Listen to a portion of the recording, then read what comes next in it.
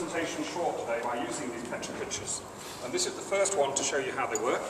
And the key of them is basically is 20 slides, each for 20 seconds. So 6 minutes and 40 seconds in total. And it moves whether I want it to move or not. Into time. And so, yeah, we're, we're really pleased to see together such a lovely gathering of people, people from PLCs, from founder-managed companies, from family-owned companies, from employee-owned companies, from community interest companies, charities, local and national government organisations. All different people, all able to learn from each other, common factors. This is the day, as you see it mapped out. We start with a World Cafe, two parallel theme conversations after that, reflections and lunch.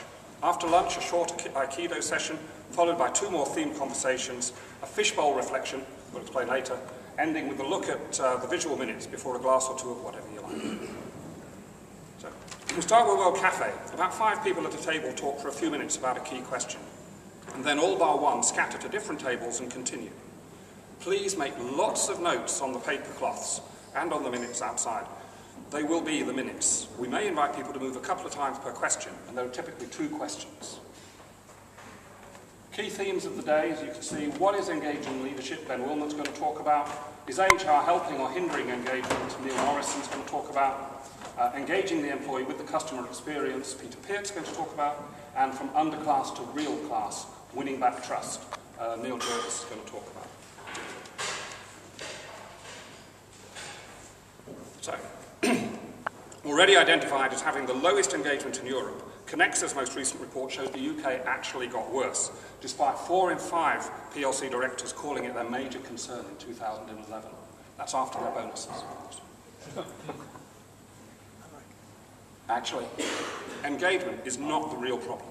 We are all born loving to engage. It's actually disengagement is the real problem. Employers must stop disengaging their people. That's what we want to talk about today.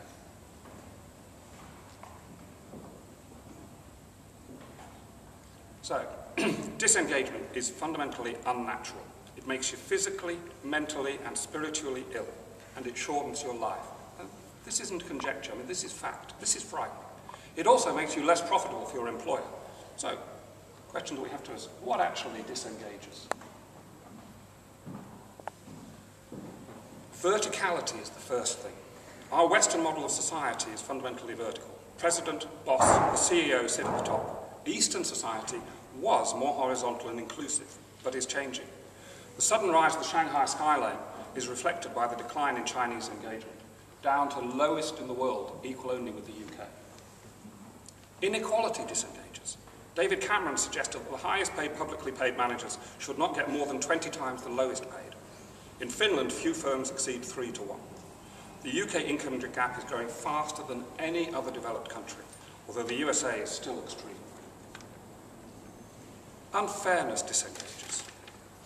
We're born with a sense of fairness as a, as a species, and sharing as a commercial, as a communal species. We need to be, fairness is so important. Groups who cooperate well thrive. Unfortunately, we've short-sightedly misled ourselves into our present state. Bonuses disengage. Fundamentally, to bribe an employee to do their job shows contempt for them. It's not quite the same as sharing financial value generated, which should be proportionally shared. And there are other ways of doing that than simple bonuses. Lack of recognition disengages. I thought this little picture of, uh, I think it's David Cameron and uh, George Osborne, and, and is, that, is Ed Balls over there on the far right? not sure, but it's lack of self-awareness really doesn't help. Most managers, and there's another survey, most managers believe that their staff respect them, but most staff think their managers lack necessary skills. Dunning calls this blissful incompetence, and notes, and it's a real problem, the less competent you are, the less you know it.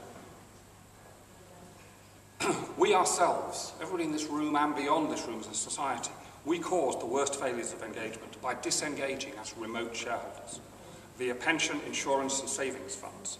That enabled PLC directors to hijack our rights and our obligations. You know, there are better ways to run a society.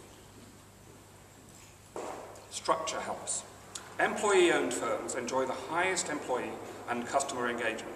We all know about John Lewis, but there are well over 100 others in the UK. Clark Shoes is an interesting example. Family and employees together since 1825.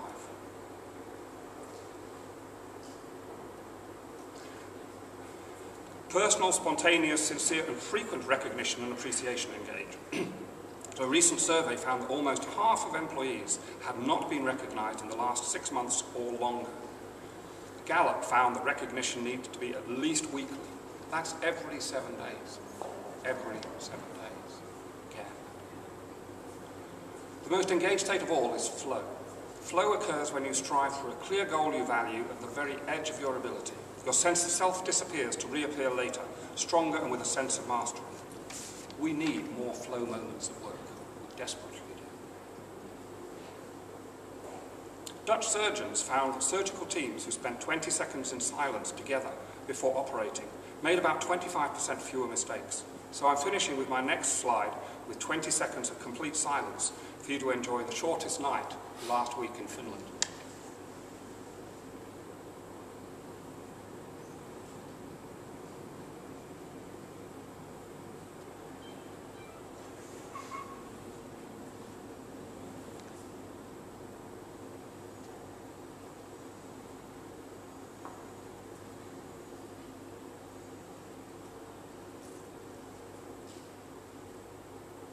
Thank you. Thank you, John.